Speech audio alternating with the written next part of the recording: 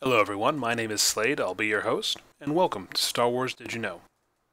Founded 300 years before the Battle of Yavin, the organization known as the Bothan Spynet was a renowned and infamous intelligence gathering organization with the goal of helping the Bothan people against any potential enemies.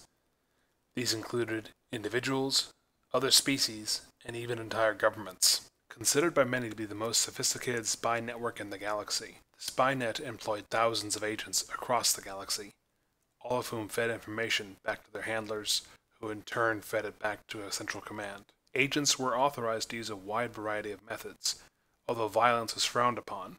In addition to Bothan agents, many non Bothans were used by the Spynet. However, all positions of authority were filled strictly by Bothans. Lacking any allegiance beyond their own people, the Bothan Spynet would sell, buy, and barter information to all parties, and often bragged that any information could be discovered by the Spynet, no matter how secret or hidden it may be.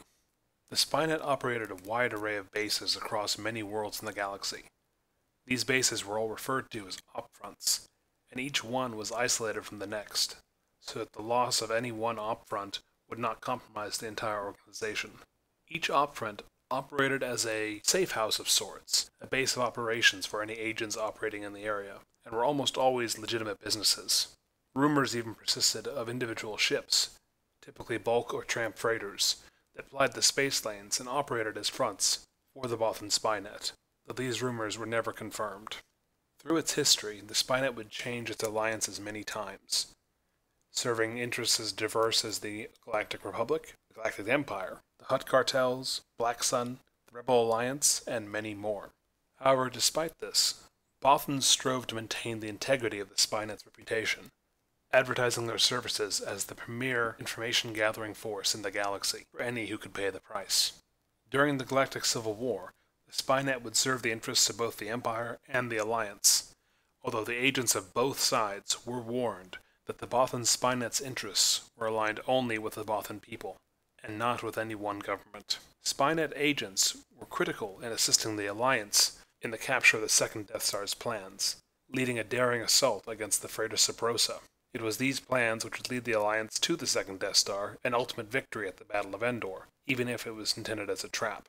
However, the Spynet often wore this deception on the part of the Empire as a badge of honor, pointing out though it had been given to them, it had come at a high cost, and despite this they had still delivered the information, regardless of its source.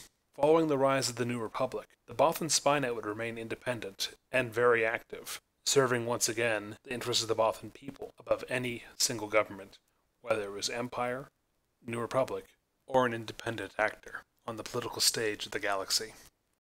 Alright everyone, that's the end of this video. I hope you enjoyed it, and if you did, feel free to like and subscribe. There'll be more content coming. If you'd like to support the channel on Patreon, please do so. Every little bit helps. Until next time, this is your host Slade, and this has been Star Wars Did You Know?